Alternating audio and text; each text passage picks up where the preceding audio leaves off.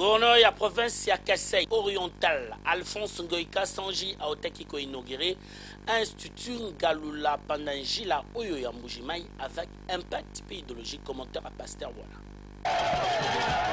bandeko babolingo institut mutombo kati oyo bozali komona awa na bilili etongama depuis 1963 na epoke ya guverner ngalula mpanda njila joseph. Tellement ke ebebaka na ndenge ya grave. Ngoika sanji alphonse gouverneur actuel ya province ya kasai oriental avec un na idéologie akitaki awa mpona kosala inauguration na yango parce que misala ya réhabilitation ye nde moto asalaka yango na cadre ya bolingo ya mboka toujours. Botala ndenge mbujimai mpe komi na bipemba epai ekole oyo evandi engengi. Sikoyo botala ndenge cérémonie ya coupure ya riban symbolique esalemaki avec impact na idéologie nsima nango basalaki visite na esengo nyonso.